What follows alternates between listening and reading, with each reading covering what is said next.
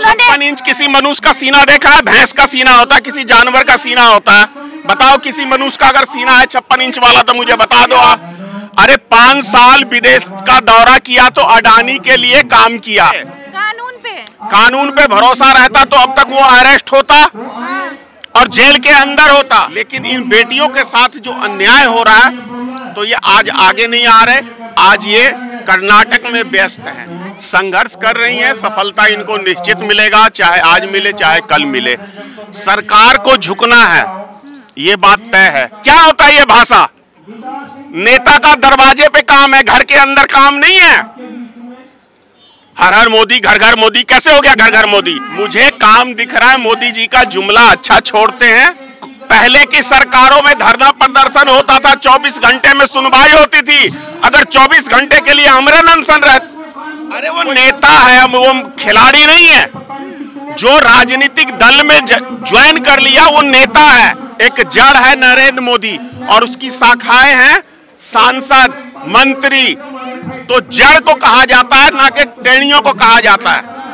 देश का नाम हमारे देश के प्रधानमंत्री, भाजपा के प्रधानमंत्री खराब कर रहे हैं। उनको चुनावी रैलियों के लिए पूरा टाइम है। लेकिन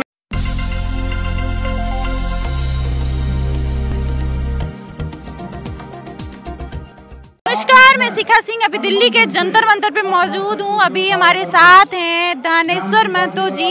ये लगातार पहलवानों और जो भी मुद्दे होते हैं देश में गर्मा गर्म मुद्दे चल रहे होते हैं, उसमें ये बोलते हैं, अपनी बात खुलकर रखते हैं। ये आज आए हैं जंतर मंतर पे पहलवानों के समर्थन में और हम इनसे बात करेंगे कि सत्रहवा दिन आज चल रहा है। और आपको क्या लग रहा है कि ये जो बेटियाँ मांग कर रही हैं, इन पे भी तमाम तरीके के सवाल उठाए जा रहे हैं। इनको न्याय मिलेगा।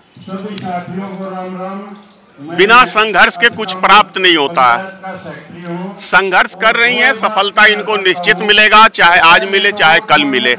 सरकार को झुकना है, ये बात तय है। अब वो कितनी जल्दी झुकती है, कितना लेट झुकती है, ये आने वाला समय बताएगा। लेकिन सरकार को झुकना है। कुछ लोग बोल रहे हैं कि ये एफआईआर दर्ज हो चुकी है। इन लोगों को कानून पे भरोसा रखना चाहिए कानून अपना काम करेगी। बेवजह धरना दे रही इन्हें जाना चाहिए। देश का नाम खराब कर रही हैं। देश का नाम ये नहीं खराब कर रहे हैं देश का नाम हमारे सांसद महोदय खराब कर रहे हैं। देश का नाम हमारे देश के प्रधानमंत्री भाजपा के प्रधानमंत्री खराब कर रहे हैं। उनको चुनावी रैलियों के लिए पूरा टाइम है। लेकिन देश का गौरव बढ़ाने वाली बेटियों के लिए कोई ख्याल नहीं है। जब उनको फ़ोटो खिंचवाना रहता है तो वो कह देती हैं कि ये मेरे परिवार का सदस्य है।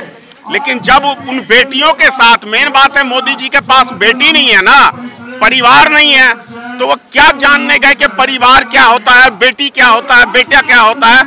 ये मोदी जी के पास ज्ञान नहीं है, इसीलिए उनको जब चुनाव जीतना होता है तो फ़ोटो खिंचाने के लिए आगे आ जाते हैं। लेकिन इन बेटियों के साथ जो अन्याय हो रहा है तो ये आज आगे नहीं आ रहे आज ये कर्नाटक में व्यस्त हैं। अरे तो आपको ब्रिजभूषण शरण सिंह से दिक्कत है या मोदी जी से? कोई भी बात होता है मोदी जी को बीच में ले आते हैं। एक पेड़ है ना? हाँ। पेड़ की कितनी डाढ़ियाँ हैं? मतलब है ना? तो उसी तरह से सरकार है। एक जड़ है नरेंद्र मोदी और उसकी शाखाएँ हैं सांसद मंत्री तो जड़ को कहा जाता है ना कि टेणियों को कहा जाता है। बात तो समझ गई आप? भरोसा नहीं है क्या? किस पे? कानून पे। कानून पे भरोसा रहता तो अब तक वो अरेस्ट होता हाँ, और जेल के अंदर होता। हाँ, पहले भी ये बेटियाँ धरना पे बैठ के गई थी लेकिन तीन महीना कुछ कानून कोई कार्रवाई नहीं हुई कोई एफआईआर दर्ज नहीं हुई तब ये दोबारा धरने पे आई हैं। आई है ना? तो इसका मतलब तीन महीने सरकार कुंभकर्ण की नींद में सोई हुई उन्होंने सोचा मामला रफा दफ़ा हो गया। अरे तो पीटी उषा जो महिलाएँ हैं। अरे वो नेता है वो खिलाड़ी नहीं है।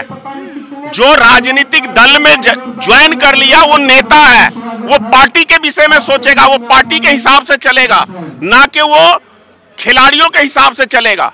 खेल मंत्री भी आए थे उन्होंने कहा आप लोग धरना खेल बंद मंत्री कहाँ है? सिर्फ़ नाम के मंत्री और संतरी रह गए हैं। जमीनी हकीकत क्या है? आप ये देखिए। जमीनी हकीकत ये है कि इन लोगों को अब घर जाना चाहिए यहाँ पे बेकार में आप जाके कह दीजिए कि आप लोग घर चली जाइए और आप आपको इंसाफ मिल जाएगा। कानून पे भरोसा रखना चाहिए। कानून पे पूरा भरोसा था तीन महीने इंतज़ार किया। जब तीन महीने में कोई कार्रवाई नहीं हुई सुप्रीम कोर्ट आदेश देता है एफआरआई दर्ज करने के लिए तब तो एफआरआई दर्ज हो रहा है। इसका मतलब प्रशासन कहीं ना कहीं दबाव में है। सरकार के प्रशासन निष्पक्ष नहीं है। प्रशासन दबाव में काम कर रही है। अरे मोदी जी पे आप बार बार जो लांछन लगा रहे हैं मोदी जी जो है अरे मोदी जी तो खुद एक कठपुतली है। मोदी जी प्रधानमंत्री कहाँ है? किसके कठपुतली है? अडानी के। अम्बानी के। और ये बोलते ना मोदी जी। अडानी के कठपुतली हैं आप इल्ज़ाम आपको नहीं लगता अडानी के कठपुतली है? हमें तो लगता है मोदी जी का छप्पन इंच का सीना है। उन्होंने छप्पन इंच किसी मनुष्य का सीना देखा है? भैंस का सीना होता है किसी जानवर का सीना होता है? बताओ किसी मनुष्य का अगर सीना है छप्पन इंच वाला तो मुझे बता दो आप। अरे हमारे मोदी जी ऐसी अरे आपके मोदी जी होंगे मैं नहीं मानता। अगर वो प्रधानमंत्री होते हाँ। अगर वो देश के प्रधानमंत्री अपने आप को मानते तो इन बेटियों की सुनते। ना कि वो अपने एक गुंडे सांसद की सुनते। अरे तो बेटी बचाओ बेटी पढ़ाओ उन्हीं ने तो अरे वो उस उन्होंने ये भी कहा था कि बेटी पढ़ाओ और बेटी को पटाओ ये भी मोदी जी ने कहा था मैंने फिसल गई थी। तो माफ़ी मांगा। हाँ। माफ़ी मांगा मोदी जी ने नहीं मांगा। अच्छा आपको 2014 के बाद कितना सबका साथ हो रहा है, सबका विकास हो रहा है? आपको वो नहीं दिख रहा? अगर किसानों का साथ होता, किसानों को साथ देते तो एक तेरह महीने के लिए धरना नहीं होता। अगर इनका साथ देते तो ये धरने पे नहीं बैठे रहते। पहले की सरकारों में धरना प्रदर्शन होता था 24 घंटे में सुनवाई होती थी। अगर 24 घंटे के लिए अमरन अनशन कोई करता था तो मंत्री आते थे उसका धरना तोड़वाने के लिए। अभी आप सत्रह दिन हो गए। एक नेता आया बीजेपी का कि आपकी क्या समस्या है आपकी क्या डिमांड है? लोकप्रिय पार्टी है बीजेपी और लोकप्रिय नेता है मोदी। लोकप्रिय पार्टी होने से कोई बड़ा नहीं हो जाता बड़ा काम करने से कोई बड़ा होता है। देश में उन्माद फैला के बड़ा बने हैं वैसे ही चले जाएँगे। तो आपको काम नहीं दिख रहा है बीजेपी का। पाकिस्तान थर थर काँप मुझे रहा है। रहा है। चाइना थर थर काँप रहा है। मुझे काम दिख रहा है मोदी जी का जुमला अच्छा छोड़ते हैं बहुत अच्छा जुमला छोड़ते हैं मन की बात बहुत अच्छा बोलते हैं लेकिन काम की बात देश में कभी मैं तो कह रहा हूँ प्रशासन के लोग खुश नहीं है मोदी सरकार से। लेकिन मजबूरी है ड्यूटी करनी है। ड्यूटी करनी है ना? उनको भी बाल बच्चे हैं। लोग तो कहते हैं हर हर मोदी हर घर मोदी। घर में किसी नेता को आज तक बिठाए हो आप ले गए हो किसी को? दामाद बनाना है क्या मोदी को? क्या होता है ये भाषा? नेता का दरवाजे पे काम है घर के अंदर काम नहीं है। हर हर मोदी घर घर मोदी कैसे हो गया घर घर मोदी? तो एक एक सौ बयालीस अरब एक सौ बयालीस करोड़ जनता है ना सारा वोट मोदी को ही पड़ना चाहिए था। तो तीस परसेंट क्यों पड़ा? सत्तर परसेंट देश में उस टाइम में खिलाफ थे। और आप कितना खिलाफ है तो आप देख लो। मोदी जी जो है दूसरे देश से ज़्यादा कोई नहीं पसंद करता। जब से मोदी जी आए हैं दूसरे देश से रिश्ता अच्छा हो रहा है। किस देश से रिश्ता अच्छा हो गया? अरे पाँच साल विदेश का दौरा किया तो अडानी के लिए काम किया। देश के लिए काम नहीं किया। और आज भी मोदी जी महीने में एक बारी मन की बात जो सुनाते हैं वो काम की बात नहीं करते देश की वो मन की बात करते हैं। आप तो लगातार मोदी जी को लपेटे जा रहे हैं। ब्रिजभूषण का मुद्दा है। ब्रिजभूषण को बोलिए। वो क्या है ब्रिजभूषण? एक सांसद है एक सांसद है। बाहुबली सांसद है छह साल छह चालीस मुकदमे है ना।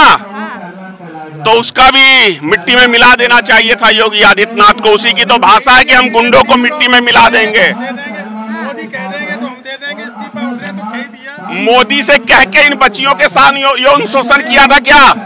मोदी से पूछ के ब्रिजभूषण ने यौन शोषण किया था इन बच्चियों के साथ? बोले।